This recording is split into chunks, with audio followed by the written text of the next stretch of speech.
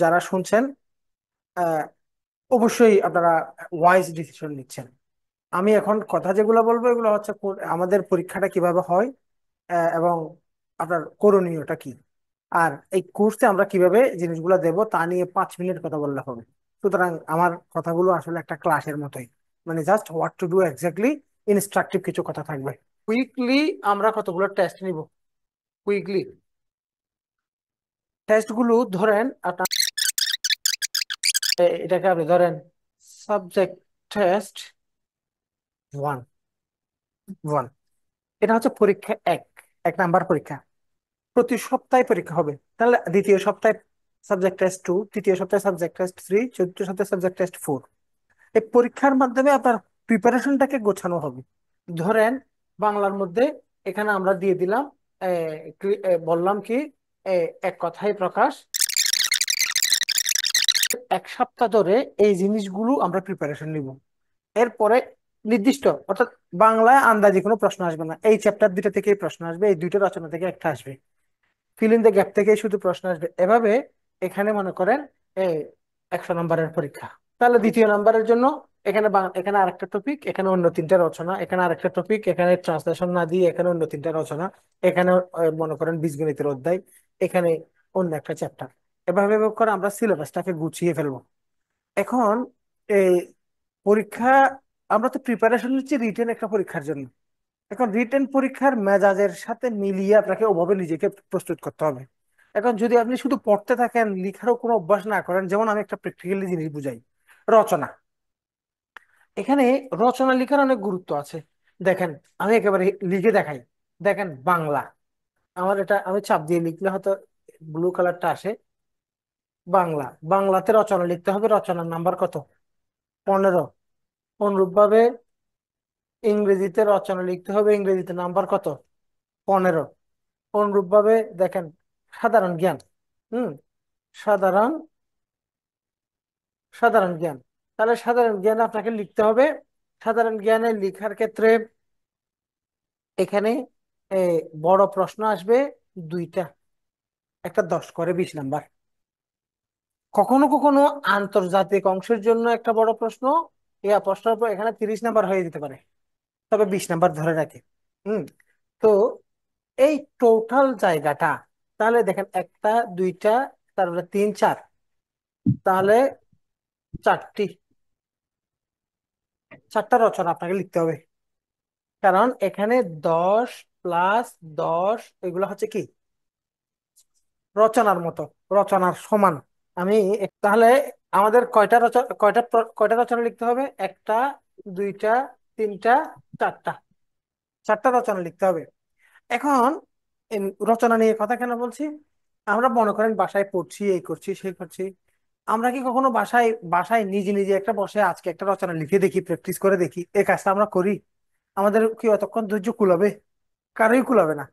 ঠিক না? এই জন্য এই একটা কোর্স করলে যে সুবিধাটা সুবিধাটা হচ্ছে ইভেন যারা অনলাইনে করছেন অনলাইনে আপনাদের জন্য কথা হচ্ছে, আপনাকে প্রশ্ন দিয়ে দেওয়া হবে। প্রশ্ন দিয়ে অনলাইনে আমাদের, আমরা যে ওয়েবসাইটে বা যে সফটওয়্যারে আমরা পরীক্ষা নিই, এগুলো অনেক স্মার্ট সিস্টেম টেস্ট মোজ একটা সফটওয়্যারের পেইড ভার্সন আমরা ব্যবহার করি। অনেক স্মার্ট সিস্টেমে আপনাকে প্রশ্ন দিয়ে দেওয়া হবে।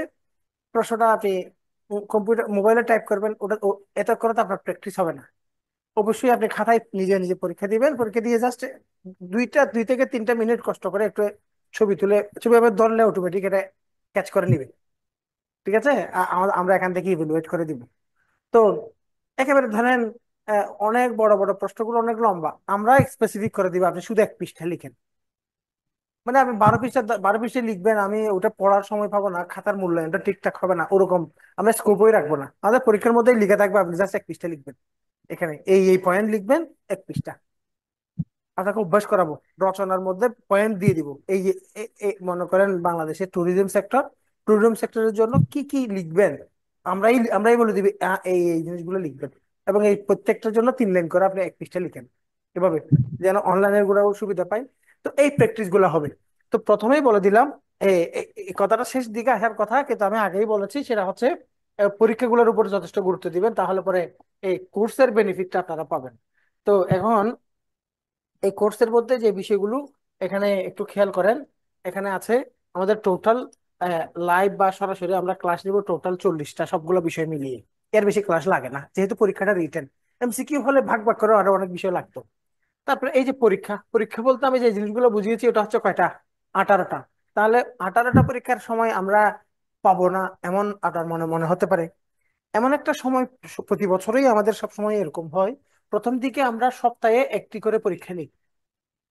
শেষ দিকে এসে আমরা সিলেবাসকে ছোট করে একদিন পর পর পরীক্ষা। তাহলে এমন অবস্থা গেছে, আজকে ক্লাস আছে, আবার আজকে পরীক্ষাও। মানে এক ঘণ্টা ক্লাস, এক ঘণ্টা পরীক্ষা। ক্লাস এক ঘণ্টা তো কখনো হয় না, ক্লাস দুই ঘণ্টা। কারণ এখানে টিচাররা একটু সিনিয়র, টিচাররা ক্লাস নেই তিন ঘণ্টা সময় কাটাতে হয়। আর এখানে অফলাইনে যারা আছেন, তাদের তো লাইব্রেরি আছে ইয়ে আছে পড়ার সময় আছে বা সময় সুযোগ পাবে। আচ্ছা আর লেকচার শিটের সংখ্যা আমরা বাড়াবো না। লেকচার শিটের সাইজগুলো হয়তো বড় হবে আপডেট করতে গিয়ে। আর আমরা চেষ্টা করব যত কমিয়ে, যত প্রিসাইজ করতে পারে লেকচার শিট দিয়ে যেন অপ্রয়োজনীয়, পড়া পড়ে সময় নষ্ট না হয়। হ্যাঁ লেকচার শিটের ক্ষেত্রে যে সমস্ত গাইড আছে বাজারে, আমার কাছেও একটা গাইড আজকে নতুন একটা গাইড আমরা আবার কিনে আনছি। আজকে আমরা এই ক্লাসটা নিব। আমি বলছি আপডেট কোনো বই বাজার থেকে পাও কিনা? দেখো, পুরাতন বইগুলো আমার কাছে আছে। ওগুলো পড়ে কোনো, কেউ চাকরি পায় না। যারা টিকছে দেখবেন সবাই ওই বিসিএস বা রিটেন অন্যান্য জায়গা থেকে পড়ে ইয়া করে। তো গাইডে যা লেখা আছে ওখান থেকে তাহলে স্যার আমরা গাইডটা কিনবো না। গাইড আপনি আপনার লাগবে। গাইড আপনি কিনবেন। কারণ হচ্ছে বিগত বছরের প্রশ্নগুলো লাগবে না। আবার কতগুলো বিষয় আছে? বাংলায় এক কথায় প্রকাশ বাগধারা এই টাইপের কিছু মুখস্থ ভিত্তিক বিষয় আছে না? এই জিনিসগুলো দেখা। কিন্তু রচনা থেকে শুরু করে অনেক বেশি ক্রিয়েটিভ জিনিসগুলো ওখান থেকে পড়ে কোনো কাজ হবে না। এগুলো নিজে থেকে কাজ করতে হবে। তো এখানে মানসিক দক্ষতা, ইংরেজি এসে তারপরে হচ্ছে সাধারণ জ্ঞান বিশেষ করে সর্বোচ্চ most importantly general knowledge general নলেজের পরিধি অনেক বড়। এখানে আপনি কোন জায়গাগুলো করবেন এবং উত্তরগুলো কীভাবে হবে, এই জায়গাগুলোতে অনেক বেশি সাপোর্ট পাবেন লেকচার শিট গুলাতে। তারপরে আমাদের সাজেশন থাকবে তো কোর্স ফি এখানে একভাবে লেখা আছে। এখন আমরা গত বছর কিন্তু কোর্স ফি অনেক বেশি নিয়েছিলাম। এবছর আমরা আগে ভাগে শুরু করছি এবং আগের না থেকে। আমরা অনলাইনে গত বছর তিন হাজার পাঁচশো টাকা নিয়েছিলাম। আমাদের এখনও ওই যেহেতু